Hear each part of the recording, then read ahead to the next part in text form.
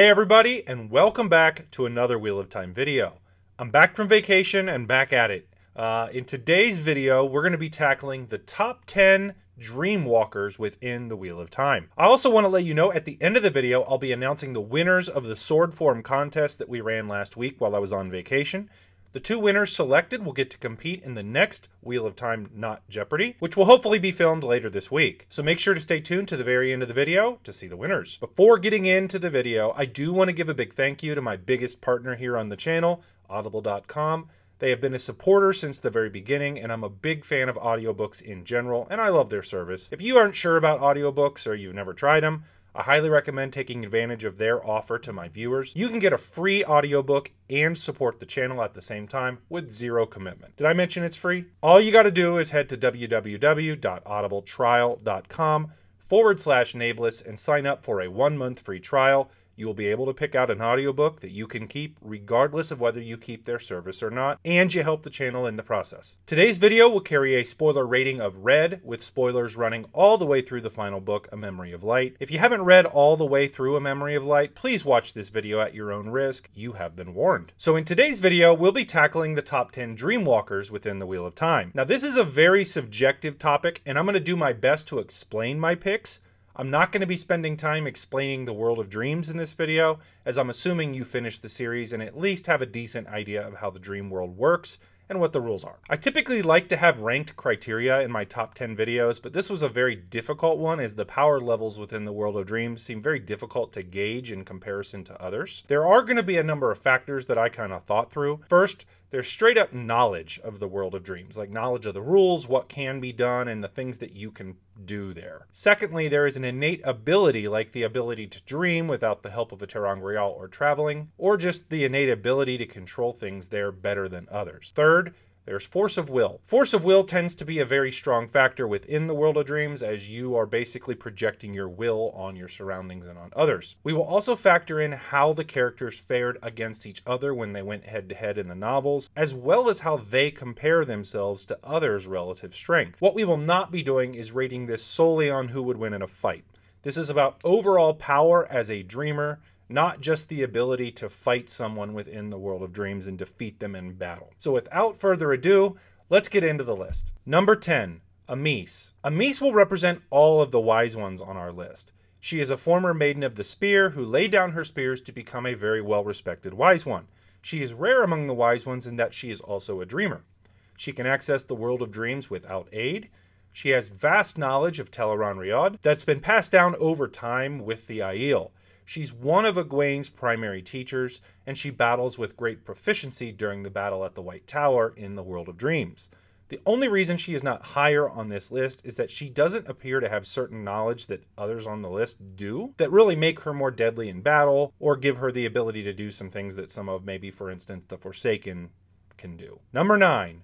Rahvin. The Forsaken Rahvin takes the number 9 spot on my list. While he is far more known for his strength in the one power, being one of the three strongest men ever, he was no slouch in the world of dreams. He's not a dreamer that we know of in that he could put himself in the dream without using other means, but he did make use of the world of dreams often through traveling. And he appeared to have a very high level of strength when he entered there in the flesh via traveling. He was almost able to completely defeat Rand by turning him into a horse he would have succeeded if not for Nynaeve intervening with Moghedien in tow while she burned Rahvin with fire and distracted him so Rand could escape. While not a dreamer, he was trained during the Age of Legends and demonstrates not only great power in the world of dreams, but also a very strong force of will, something necessary to controlling others and the surroundings in the world of dreams. Number 8.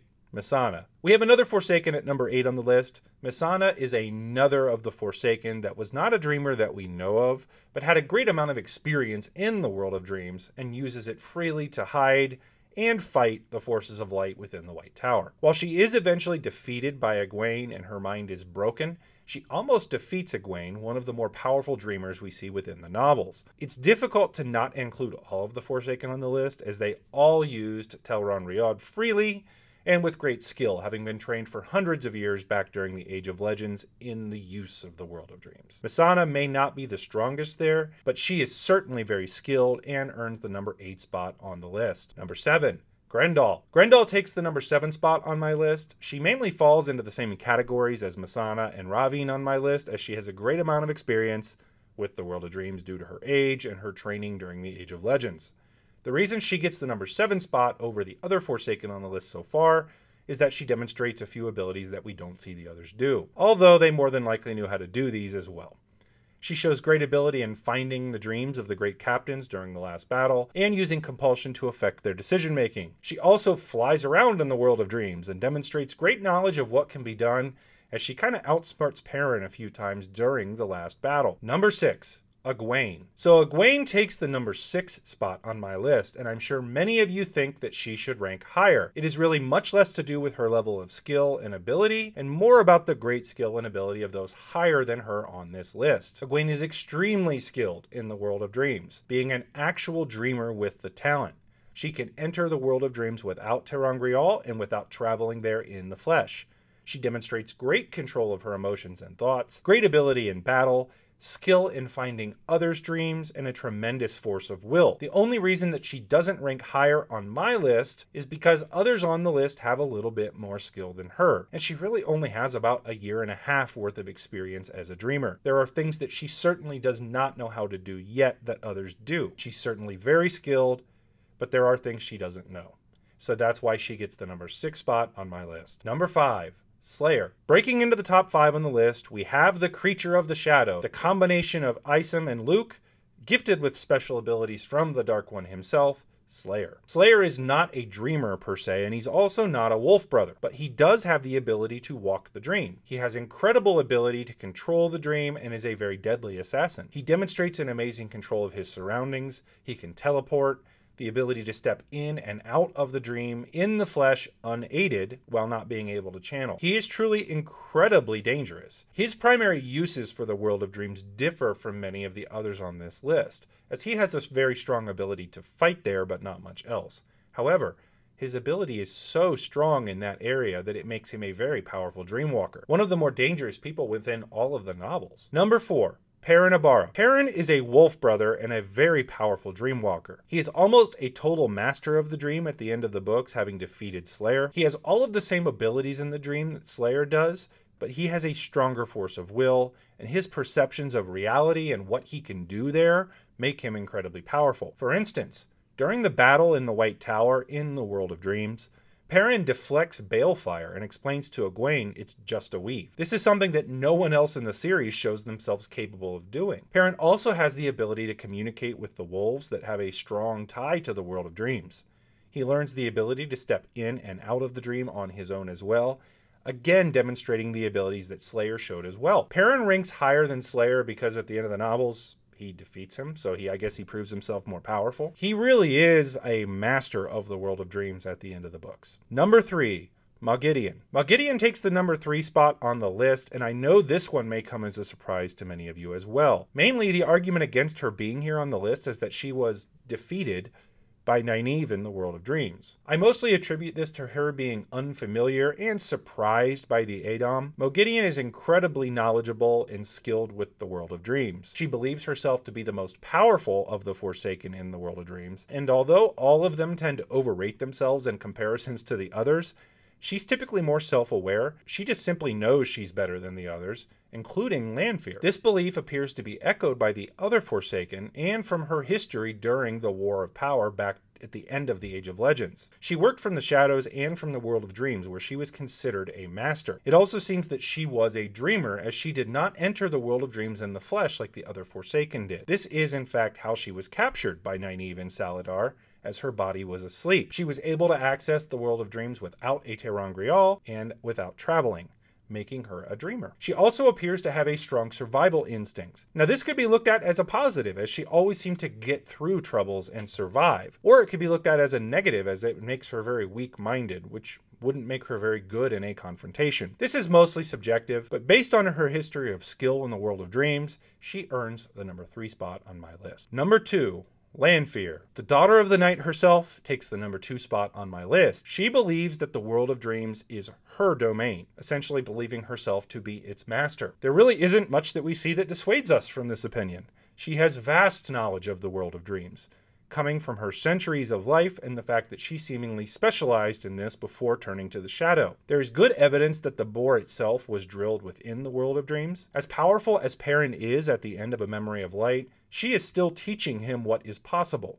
This is likely a fraction of the knowledge that she possesses. She's able to break through Rand's wards on his dreams at the end of the novels and draw him into her dream shard. She displays great control and great power within the world of dreams, and her reputation in history during the Age of Legends and War of Power put her at near the top of this list. Number one, Ishamael. Coming in at the top spot on the list, we have Ishamael, later known as Moridin. Ishamael is a dreamer and an incredibly powerful user of the world of dreams. He makes use of it often, spending time creating dream shards, pulling people into his dreams or dream shards, and influencing events from the dream. He has vast knowledge and skill. Couple that with the fact that he literally not only had his lifetime to master it in the Age of Legends, but the times he escaped from the Dark One's prison over the centuries since the breaking, you have the most experienced dreamwalker of all time in Ishamael. He was a philosopher and a researcher, and the fact that he was a dreamer gave him great knowledge of the dream and its theoretical possibilities. We see him making use of the dream world from the very first book, bringing the boys into dream shards as he chased them and guided their thoughts and actions. He so regularly makes use of the world of dreams that I'm fairly certain we see him more in the books while he's in the dream than we do in the waking world. So there you have it my top 10 most powerful dreamwalkers within the Wheel of Time. What do you think of my list? I know many of you will disagree. Tell me what your list would be in the comments below and why you think your choices are the right ones. Also, please give the video a like as it really helps the channel get noticed by the YouTube algorithm, and subscribe to the channel if you want to see more Wheel of Time content. I have tons of videos if you're new to the channel, so feel free to check them all out. Now, as to the winners of the sword form contest to make it into the next round of Wheel of Time, not Jeopardy, to face reigning champion Angry Trevor. I actually have three winners, but one of them isn't finished with the books yet, so he'll have to play in a later uh, Wheel of Time, not Jeopardy. So our first winner is Daniel Goldeneyes with his entry the Wolverine chokes on the Buckeye nut. As many of you know, I am from Columbus, Ohio, and a major Ohio State Buckeye fan and alum. This sword form is very dear to my heart. Now, Daniel isn't quite finished with the series yet, so he will play later in Wheel of Time Not Jeopardy, but not this upcoming round. Our two winners who will be playing in the upcoming version are the Badger Reborn and Mahale. The Badger Reborn's entry that wins is Nae'Blis Smacks the Badger. This one really speaks for itself to me. Mahale's entry is a very deep cut and a very subtle play on words that will take some thought, but hey, that's the kind of humor I like. His entry was the Stuck Whim Struggles. Ponder that one for a while. But hey guys, that's it for the video today please take a moment and check out my Patreon page if you want to support what I'm doing here. My mission is to provoke some discussion about the Wheel of Time and reignite interest in the series as the new TV show is coming out. If you can get behind that mission and you want to support what I'm doing, please consider supporting me over there on Patreon. The link is in the description below. Thanks everybody for watching, and until next time, peace out.